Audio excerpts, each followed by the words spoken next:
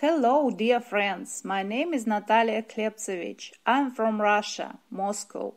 Today I can speak with you thanks to the support of the Taiwan Museum of Ceramics, which has done everything possible so that the artists, despite all the difficulties associated with the coronavirus, nevertheless take part in the Taiwan Ceramics Biennale, show their work and communicate with the audience.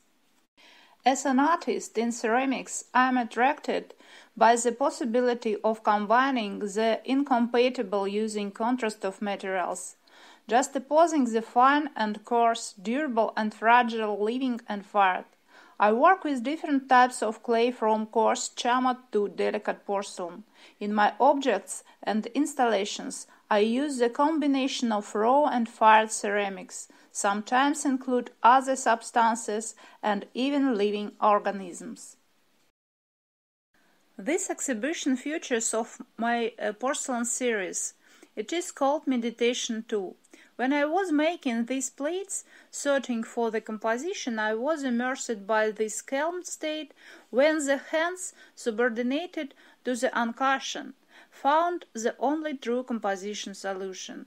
In the meditation series, I use plate made of solid porcelain, usually of a simple shape resembling a lens.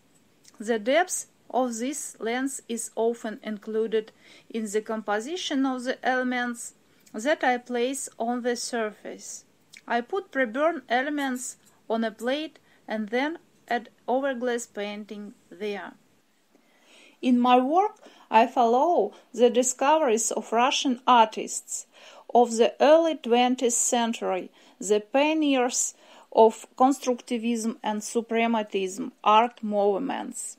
I try to combine the spontaneous behavior of the material and the clarity of the composition, the individual elements of which resemble suprematism structures. My plates have lost their functional purpose from the very beginning.